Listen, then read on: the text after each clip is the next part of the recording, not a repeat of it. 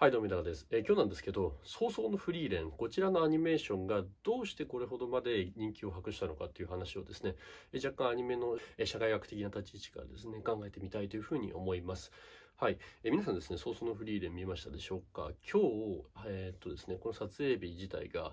3月の22かな、ね、金曜日の夜なんですけれども、え本日をもって早々のフリーレン28話がもう完全に終了しましたと。で、えっと、かなりの視聴率をですね、叩き出して10%とか、えー、録画も含めた視聴率を取ると10%台をキープしていた、まあ、かなり、えー、新アニメーションとしては異例のアニメだったなというふうに思います。で、そんな早々のフリーレンがですね、えー、どうしてこれほどまでに人気を博したのか、あの、早々のフリーレンって大体40代とか、あとは50代とかそういった、えー、年配層にもですね、かなり流行っているアニメでした。えー、ということはですね、社会全体としてこのアニメが若者だけじゃなくて社会全体として広まっているというふうに、まあ、考えるべきだなというふうに思います。じゃあなぜですね、ここまで早々のフリーレンが流行っていったのかっていうのを、まあ、社会学な的なね、立ち位置からちょっと考えてみたいなというふうに思います。えそもそも、早々のフリーレンっていうのはどういう話かっていうのをちょっと簡単におさらいをしましょうと。早々のフリーレンはですね、えっ、ー、と、勇者ヒンメル一行の、えー、魔法使いフリーレンがですね、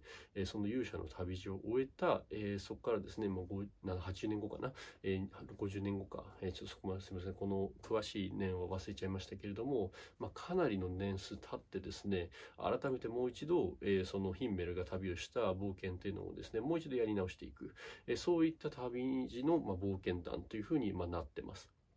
つまりですね、フリーレンのアニメっていうのは2回目の冒険談になるんですね。でこれがなぜここまで人気を博したのかっていうと、簡潔に申しますとですね、自己理解と他者理解のアニメーションだからこそだというふうに僕は思ってます。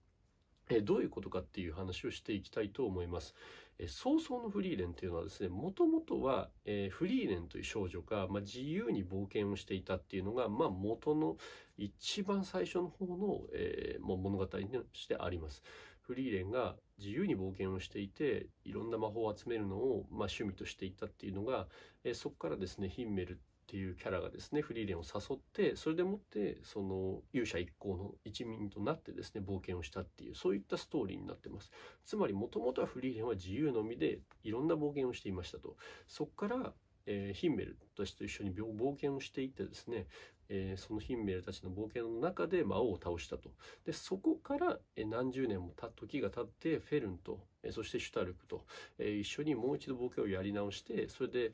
今までの、えー、フリーレンが今まで冒険してきたヒンメルの感情とか人々の感情っていうのを知ることで他者を理解することによって自分の感情っていうのを理解する、まあ、そういった冒険の谷になっているわけなんですけれども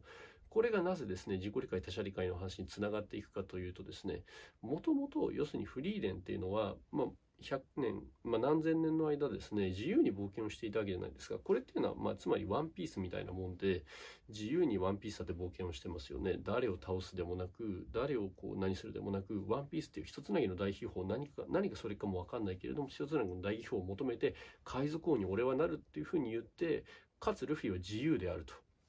えルフィっていう言葉の語源は自由という意味らしいですが、え要するに今自由を求めていたのがワンピースのルフィ、ワンピースという物語でした。で、それをフリーレンの、えーと、ヒンメルにですね、勧誘される前のフリーレンはそういった自由の旅をしていましたと。一方で、ヒンメルと一緒に旅をしていた頃のフリーレンというのはどういう立ち位置かというと、これはですね、えー、集団の中で何か一つの目的、魔王を倒すという目的のために奔走していたフリーレンなわけですね。要するに、例えばですね、ヒーローアカデミアでシェカラキトムラを倒すためだとか、あとはですね、いろんな目的が、まあ、ありますけれども、鬼滅の刃で鬼物寺無惨を倒すため、こういったですね、ある魔王を倒すための冒険団、集団の中で、そして価値を発揮していく冒険団だったわけです。で、これが前提としてフリーレンはあるわけですね。つまり何が言いたいかというと、少年漫画が今まで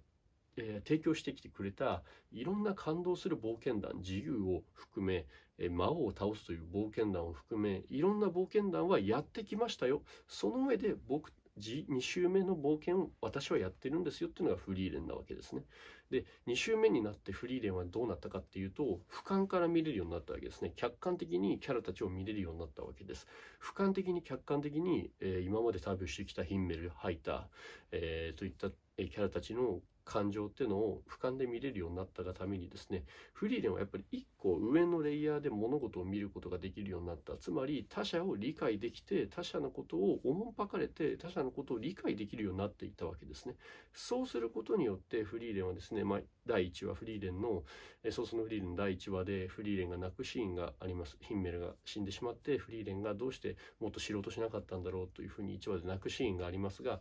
ああいうふうにですね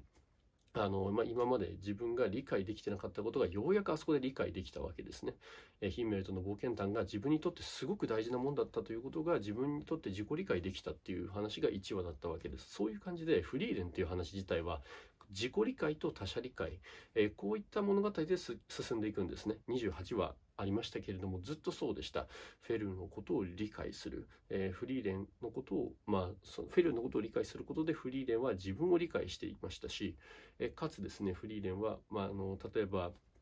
えっと、ヒンベルか。ヒンベルのことを理解しやんと、えしようと、えそういうふうにするたびにですね、いろんなこう人たちに会っていて、あ、あの時のヒンメルはこういう気持ちだったんだっていうことがどんどん分かっていってあ自分もそうやって生きていく